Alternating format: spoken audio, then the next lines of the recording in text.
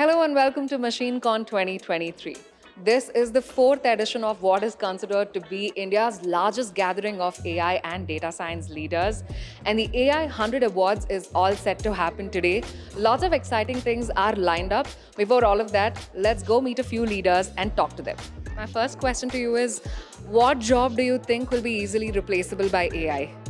anywhere where low skill requirements are there salesmanship customer service I think in the future, marketing. Because that's the only thing I can answer. Yeah. Do you work in marketing? Yes. I think a lot of the basic photo editing photo editing.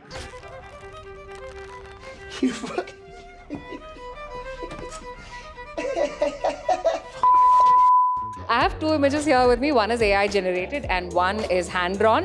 So we're going to go around and ask people if they can find out which is which. So, which one do you think is AI generated and which one is uh, hand drawn? This looks hand drawn. This is hand drawn and this is. Okay, well, you know what? This is AI generated and this is hand drawn. Left is AI generated. Well, you know what? You've got it wrong.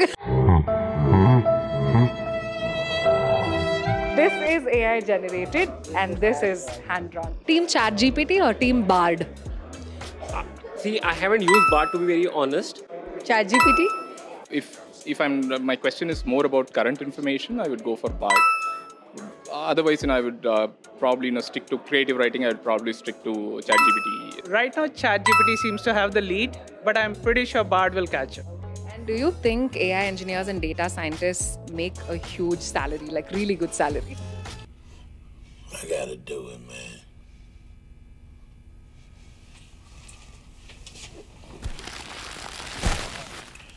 No, they are like any other any other tech or engineering person.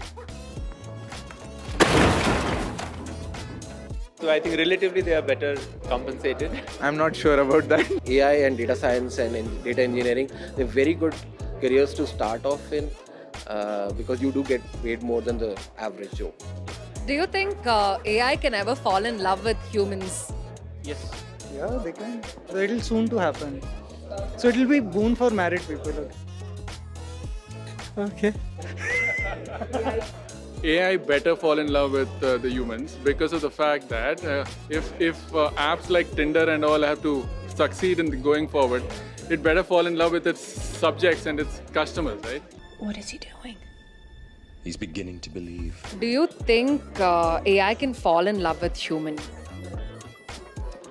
um, I don't think, like, you know, at this point, the emotion is something I don't think it might take a long while for AI to be able to replicate.